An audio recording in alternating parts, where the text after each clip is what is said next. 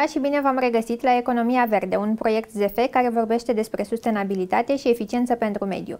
Numele meu este Alina Vasiliu, iar astăzi vorbim despre Caminota și despre cum startup-urile din domeniul construcțiilor încep să ia naștere cu gândul la protecția mediului. Vlad Stanciu se află astăzi alături de noi pentru a ne povesti mai multe. Bună ziua! Bună ziua! Uh, îți mulțumesc că ești alături de noi, Vlad. Uh, povestește-ne înainte de toate ca să avem așa un punct de pornire despre Caminota. Ce înseamnă businessul acesta, când a luat el naștere și cum anume? Caminota este practic uh, finalul unui drum destul de lung și pentru mine și pentru Eco Living Project, Eco Living Project fiind firma în cadrul căruia a fost dezvoltat brandul Caminota. Um, Caminota este um, un sistem de tencuială și finisaj naturale pe bază de argilă. Deci sunt două materiale acum pe piață, ambele naturale, ambele pe bază de argilă, o tencuială grosieră pentru nivelarea pereților și un finisaj sau pinci de argilă. Uh, ele sunt uh, materiale cu amprentă de carbon extrem de mică, aproximativ la ora actuală de 80 de ori mai mică decât uh, materialele convenționale de pe piață, care sunt pe bază de ciment. Și ne propunem ca la anul să avem amprenta de 100 de ori mai mică, adică să creștem în eficiență. Și cum faceți asta? Proiectul? Păi, în primul rând, nu avem nevoie să uh, spargem munți pentru minerale, nu avem nevoie să ținem uh, acele minerale la o temperatură de peste 1400 de grade Celsius, adică literalmente argila este aproape peste tot și e destul de ușor de transformat într-un uh, material de construcții. Sigur, avem în spate cam șase ani de cercetare dezvoltare, deci uh, nu este extrem de uh, simplu, dar uh, trebuie totuși să considerăm că materialele acestea au o prezență în piață de peste 6.000 de ani. Deci și asta ar trebui să spună câte ceva. Despre, Bun, care e despre... povestea din spate? Când a luat naștere businessul acesta și cine se află? Spuneai de Eco Living Project că este practic compania care deține brandul Caminota. Cine este Eco da. Living Project? Cine deține compania? Eco Living Project uh, este un uh, startup inovativ sau a fost un startup inovativ care începând din 2015 uh, și-a propus să transfere în producție o tehnologie dezvoltată de noi în, la Institutul Național de Materiale de Construcții și anume pământul turnat sau betonul de pământ și asta sub uh, uh, umbrela conceptului de Eco Day. Uh, am, uh, am avut uh, prototipuri, am avut locuințe vândute care astăzi sunt uh, uh locuite și în uh, tot acest timp ne-am dat seama de um, de faptul că nu avem cu ce să acoperim acei pereți ca să respire și să-și păstreze proprietățile deosebite ale, ale argilei. Uh, și în timp, așa am ajuns, la, așa am ajuns să dezvoltăm uh, uh, sistemul Caminota. La început a fost doar tencuiala și apoi am finalizat tot sistemul cu textură și culoare și rezistență la apă lichidă. Aveți o fabrică în care produceți materialele? Da, anul acesta, la, în prima parte a anului, asta am făcut, am uh, realizat, uh, am creat linia de producție și asta a fost o inovare în sine, întrucât uh, nu prea găsești echipamente dedicate pentru operațiunile de care avem noi nevoie. Dar ne-am inspirat din industria construcțiilor, din industria betonului, din industria alimentară și din alte industrii ca să ne creăm o linie de producție cu care acum uh, putem uh, produce aproximativ 4 tone pe zi. Și când ați început să produceți? Uh, păi, am, am început încet să producem, dar lansarea oficială pe piață a produselor a sistemului a fost în mai anul acesta. și practic în primele șase luni de la lansare a fost acoperit peste 3000 de metri pătrați de pereți cu acest sistem. Ok, dar nu mi-ai spus uh, cine e în spate, cine sunt acționarii proiectului? Deci, tu ești unul dintre ei. Da, eu sunt uh, cofondator. Uh, am un uh, coleg cofondator care realizează cu mine partea executivă, Andrei Basaraba, și avem patru advisor și business angels care ne ghidează, ne susțin inclusiv financiar și cu experiența lor. Și au experiență diversă în, în, în diverse industrii. De unde a venit ideea voastră? Am înțeles că aveați înainte cumva experiența prin Eco Living Project, dar mai există la noi ceva similar de unde să vă fi inspirat sau poate v-ați inspirat din proiecte din străinătate? Cum a fost da. traseul până Ex- când ați implementat efectiv uh, fabrica și ați început deci, să produceți? La început, la început uh, am avut nevoie de uh, o tencuială pentru primii pereți de beton de pământ ce am făcut în case și am uh, achiziționat din import, uh, respectiv din Germania, uh, la prețuri de materiale din Germania, plus transport. Deci a fost un, un parcurs interesant, dar nu aveam altă variantă. Ar fi existat o altă posibilitate să putem să preparăm noi tencuiala la vremea respectivă, dar ar fi fost uh, prea multe elemente de noutate deodată. Uh, nu am avut atunci acces la meșteri sau artizani care mai știu să lucreze ca în vremurile de demult. Și uh, așa că am ales varianta industrială, am achiziționat la Big Bag și am, am aplicat. În timp, ne-am dat seama că aveam, aveam tot mai multă experiență în cercetare, tot mai multă experiență cu, în, în uh, lucrul cu argila uh, și ne-am dat seama că există o reală oportunitate să uh, creăm noi un, uh, un material uh, care să fie mai potrivit uh, pentru ce avem noi nevoie și să fie cu materiale locale. Adică, într-adevăr, poți să iei un material Um, local um, care, are o, care comportă o amprentă foarte mică de carbon pentru prelucrare, dar după aia dacă îl pui pe tir și îl plimbi câteva mii de kilometri, cred că se cam anulează efectele pozitive asupra mediului.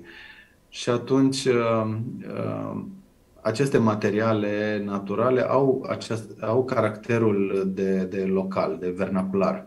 În sensul că dacă te pui și le transporti uh, pe distanțe mari, efectiv se pierde uh, da, se pierde efectul, uh, rodul muncii. Ce câștigi pe parte, pierzi pe cealaltă. Exact. Unde exact. se află fabrica voastră? Lângă Timișoara se află unitatea de producție. Ok, iar furnizorii da. cine sunt? Ai spus că vă aprovizionați local. Sunt furnizori din zona respectivă? Și de ce fel da. de materiale aveți practic nevoie? Uh, în momentul de față, pentru tencuială folosim argilă, um, o anumită argilă, um, nisip și uh, fibre de lemn de rumeguș. Astea sunt cele trei componente care intră în, uh, în material. Sigur, fiecare element în sine a fost uh, uh, amplu testat și verificat și selectat în sensul că avem sute de rețete făcute și sute de teste pe acele rețete și uh, când spun o argilă, un nisip și o fibră lemnoasă, este foarte particular. Dar um, um, așa, și pentru finisaj, pentru tinci, doar nisip și argilă. Deci asta e tot ce, tot ce intră în materiale. De-aia când spune că sunt simple și naturale, ele se prelucrează la noi în unitatea de producție, se, a, se a, combină, se pun în sac și se vând la sac pe palet. Ok, și le găsiți cumva așa la discreție în natură sau, nu știu, sunt păi, din zone controlate da, de ele... unde puteți să vă aprovizionați? Noi, în mod particular, primim materiale de la un furnizor specializat care mă rog, ne, ne oferă uh, o fișă tehnică pe materialele, o certificat de conformitate da, la fiecare șarjă pe care o primim, astfel încât noi putem să facem, uh, să, să, să avem o trasabilitate a calității în uh, fluxul productiv, de la materia primă până la sac. Uh, am obținut agrement tehnic pentru aceste produse. Uh, Uh, și practic uh, am fost auditați pentru repetabilitate. Deci dacă facem de 100 de ori, de 100 de ori trebuie să, fac, trebuie să iasă la fel. Um, dacă schimbăm unul, unul, unul, unul din uh, ingrediente, atunci nu o să mai iasă exact același lucru. Deci, practic, argila este pretutindeni, dar fiecare argilă are nevoie de o rețetă proprie. De asta, dacă te pui să faci uh, pe, în, într-un sat cu argila din deal, trebuie prima oară să începi cu niște experimente, să vezi ce rețetă, ce componente trebuie să, să adaugi, astfel încât să scoți un material de calitate pentru acea locație. Cât ați deci, investit, Vlad, practic, în Caminota până acum?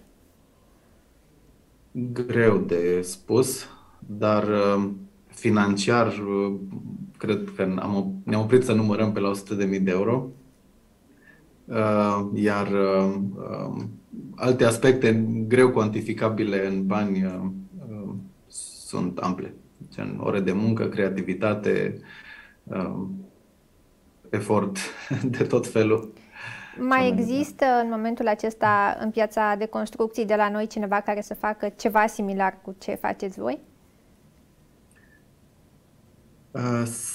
Se, găsesc, se găsește de cumpărat uh, uh, tencuială de argilă din import și mai sunt, uh, uh, mai sunt acești uh, meșteri, craftsmen, care cunosc uh, uh, tradițiile și tehnicile vechi de construcții, care sunt foarte puțini și au capacitate limitată uh, de implementare, ca să zic așa.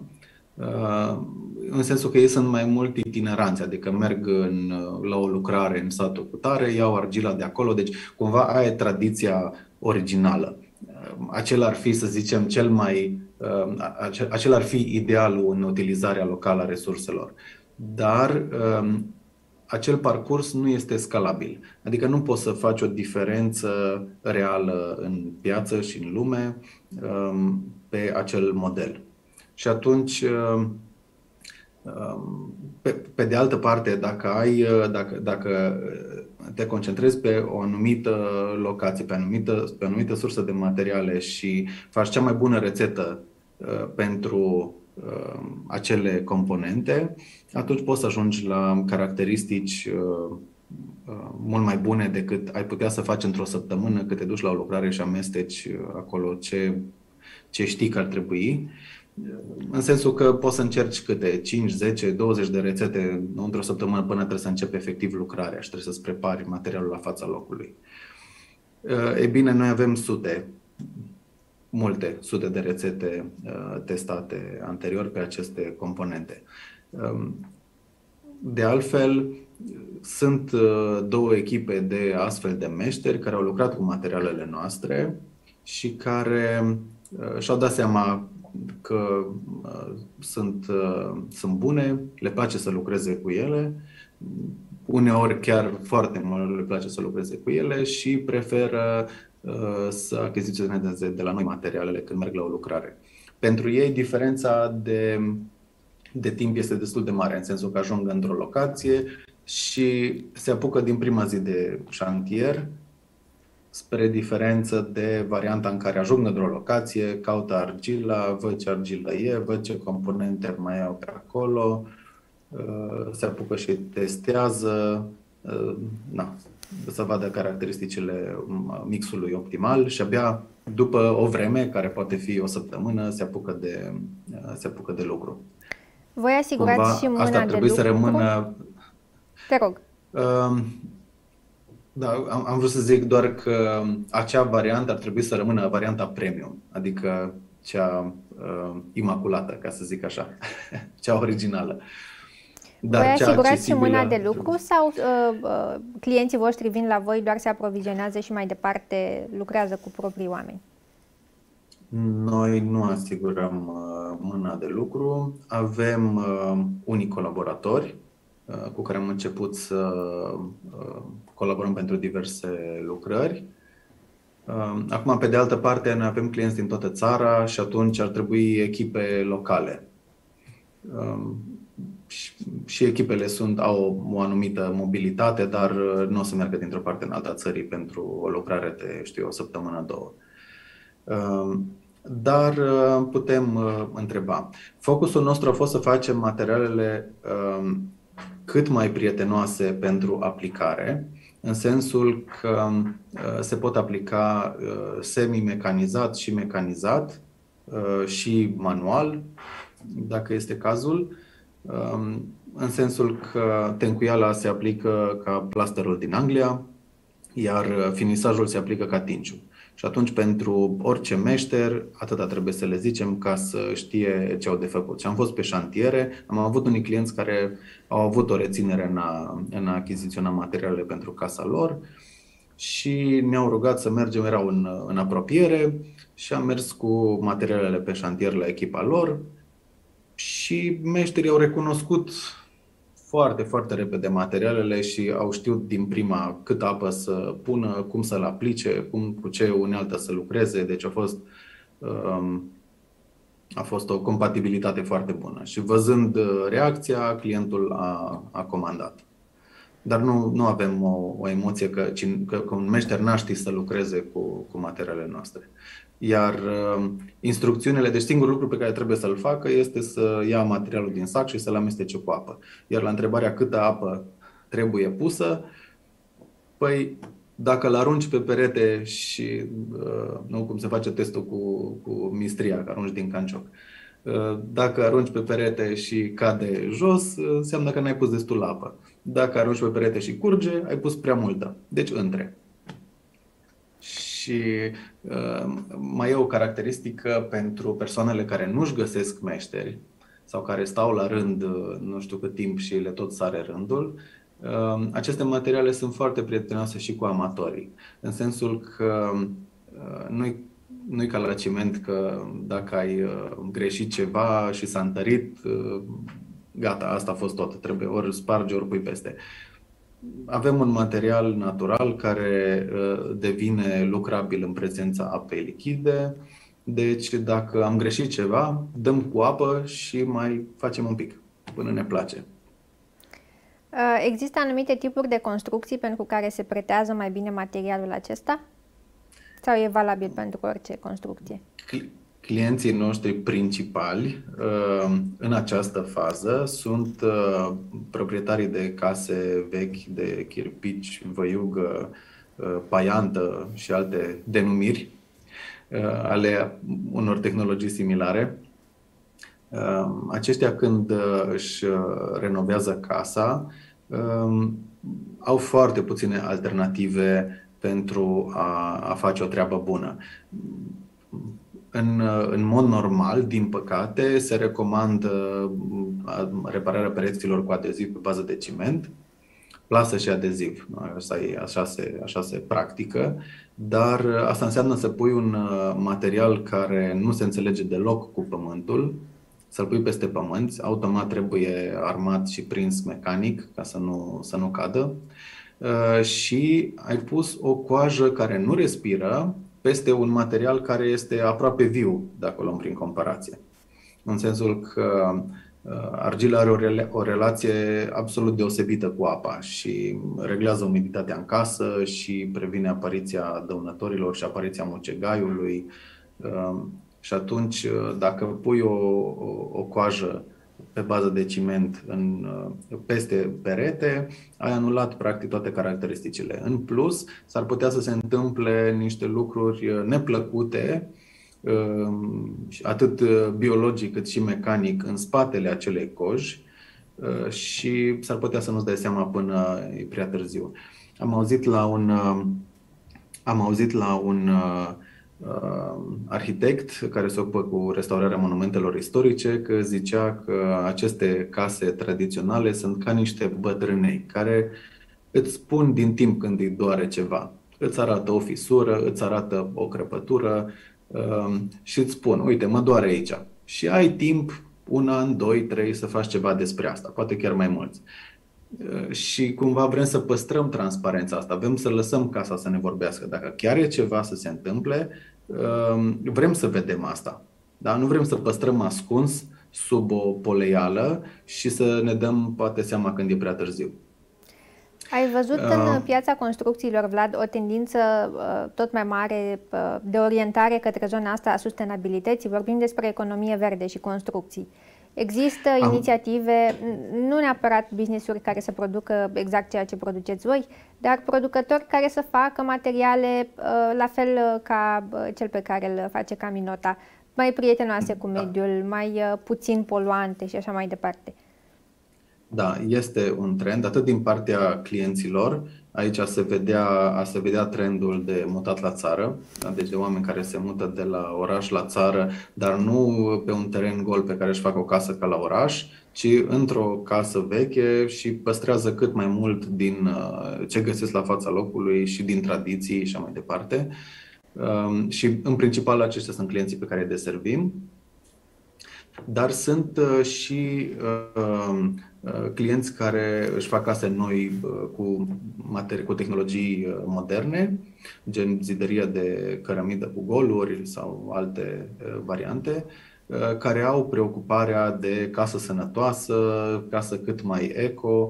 Um, vedem preocuparea pentru eficiență energetică, mai ales în ultimele luni când, de când au explodat prețurile la energie și um, problema încălzirii a redevenit uh, semnificativă și atunci uh, preocupările clienților se văd. Adică am aplicat și noi uh, sau am furnizat sistemul Caminota pentru case noi, acolo unde clientul știa ce este fiecare strat pe care l-a pus pe pereți până în acel moment, știa niște caracteristici, urmărea respirația pereților, da, proprietățile astea de respirație a pereților și o termoizolație deosebită și atunci um, um, a ajuns cumva în mod natural la, la noi pentru um, închiderea interioară a pereților. Deci și clienții devin mai atenți la caracteristicile astea.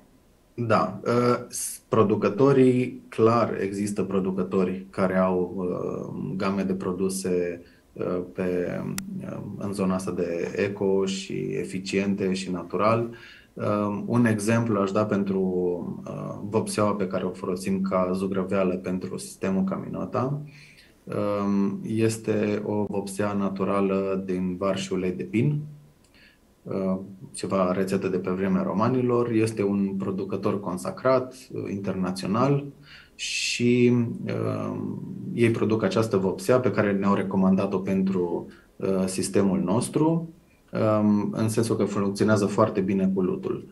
Um, această vopsea este inclusiv uh, uh, certificată pentru câte, câți compuși organici volatili uh, absorbe sau trec prin ea per metru pătrat pe oră. Um, poluanți care, care n-ar, dacă, dacă n-ar fi lut în spate, n-ar avea unde să meargă. Dar știm că argila absorbe compuși organici volatili, în cantități impresionante uh, și atunci această vopsea este cumva uh, perfect făcută pentru aplicat pe lut uh, și pentru că păstrează caracterul de natural și pentru faptul că permite argilei să ne îmbunătățească calitatea vieții. Aș, aș face numai o paranteză, nu știu dacă știți, în casele vechi bătrânești se gătea în fiecare zi la ceaun, la oale, e bine, niciodată nu miroseau pereții a mâncare. Da? Și astea sunt uh, caracteristicile pe care le poate aduce argila. Da, deci argila uh, din materialele din pereți absorbe compuși organici volatili, gen fenoli, tolueni și mm, mai știu, așa, uh, și se întărește în timp datorită acestui sau și datorită acestui fenomen. Experiența ta înainte de Caminota era tot cumva în zona asta eficienței energetice și avea legătură cu domeniul clădirilor, dacă nu mă înșel. Poți să ne povestești puțin ce făceai înainte de a porni acest business?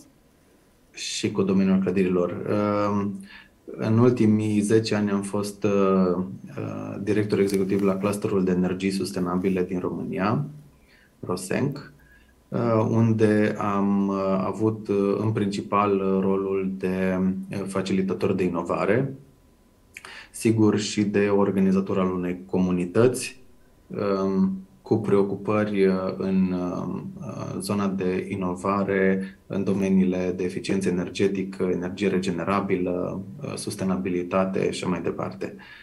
Um, și, practic, din, din această postură am prins apetitul pentru inovare.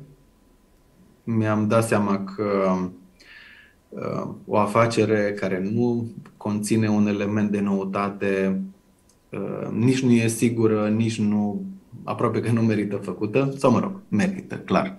Uh, e mai simplu, dar e, uh, e într-o, într-o piață în care oricine altcineva poate să facă acea afacere. Ok, deci tu ai, ai căutat și, elementul și de inovare pentru businessul tău pe care l-ai pornit. Da. Da, am înțeles, am înțeles în timp tot mai bine de ce inovarea îți oferă un, un avantaj concurențial durabil pentru că, la urma urmei, um, o echipă um, ajunge să aibă competențe unice, uh, cunoștințe unice sau o combinație de cunoștințe unice, uh, care este foarte, foarte greu de replicat. Și dacă este replicată de alții, pentru că până la urmă da, asta se întâmplă, da, adică avem uh, copiatul unei afaceri, dar um, punerea în aplicare a acestei sume de experiențe și de factori um, durează, necesită niște timp. Pentru că, ok, hai să vedem ce fac ceilalți, hai să facem și noi. Va dura niște timp până reușim să facem și noi măcar la fel de bine același lucru. Ei, în acel timp, um, cei din tâi vor ajunge deja mult mai departe. Adică ei sunt deja pe piață, ei deja vând, deja, uh, deja uh, utilizează acele cunoștințe și uh, până într-un an, până apar și alții, ei deja au venit cu versiunea a doua, a treia și așa mai departe. Um, deci, cumva, inovarea stă la, stă la baza unui avantaj concurențial durabil. Și noi, de altfel, uh, avem uh, partea asta de inovare în, uh, în ADN-ul Ecoliving Project, în sensul că avem o bună idee de ce produse o să facem la anul sau ce îmbunătățiri o să facem la anul. Sigur, vrem să și diversificăm gama de produse, dar și de tehnologii. Asta urma să te întreb acum pe final, care sunt planurile de dezvoltare pentru Caminota? Dacă rămâneți doar la produsele pe care le-ați creat până acum sau dacă vreți să diversificați și să vă îmbogățiți portofoliul? Avem uh, foarte multe idei și foarte puțin timp. da. Uh, cu cât uh, știi mai multe despre un domeniu, cu atât îți dai seama că sunt uh, și mai multe de știut. Uh, și uh, avem uh, mai multe produse și rețete și tehnologii în diverse etape de cercetare-dezvoltare. În sensul că dacă faci ceva cu pasiune, o faci efectiv din plăcere și din curiozitate. Mă refer acum la cercetare în, pe lucruri sau încercări, diverse încercări și teste o faci nu pentru că la un moment că ești sigur că o să iasă un produs din, din asta, ci uh, efectiv din curiozitate și din, uh, din pasiune. Și astfel avem mai multe uh, experimente care sunt interesante și care uh, credem că la un moment dat va fi oportun să le transformăm în produs și să le aducem în piață. Am înțeles. Uh, mulțumesc tare mult, multă baftă cu dezvoltarea de produse noi și așteptăm să ne mai dai vești pe măsură ce crește portofoliul Caminota. Mulțumim tare mult! Vă mulțumesc și vouă pentru că ne-ați urmărit și nu uitați că vă așteptăm și la următoarele ediții ZFE Economia Verde. Pe curând!